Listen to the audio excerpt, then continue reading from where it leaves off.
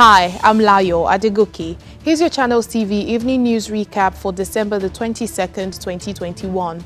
Nigeria has confirmed 2,123 new COVID-19 infections from 10 states and the FCT.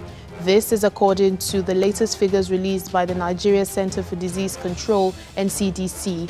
The new data from the NCDC is the highest daily case tally in the country since January the 27th, 2021, bringing the total number of infection recorded in the country to 227,378.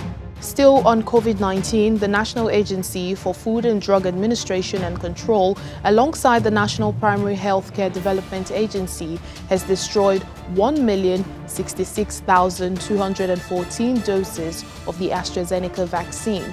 They were destroyed today at the Gosa dumping site in Abuja. According to the Director General of NAFDAC, Professor Mojisola Adeyeye, the decision followed series of testing processes.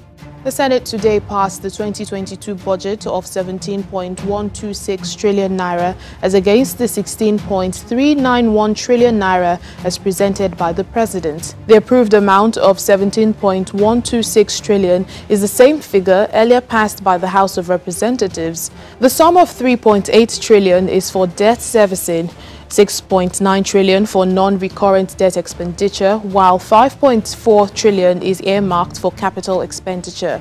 On the international scene, the death toll from a shipwreck off Madagascar's northeastern coast has risen to at least 64 after 25 more bodies were discovered. And in sports, the African football chief Patrice Motsepe has confirmed that the Africa Cup of Nations AFCON will go ahead as planned in Cameroon next month despite the Omicron variant-led surge in COVID-19 cases.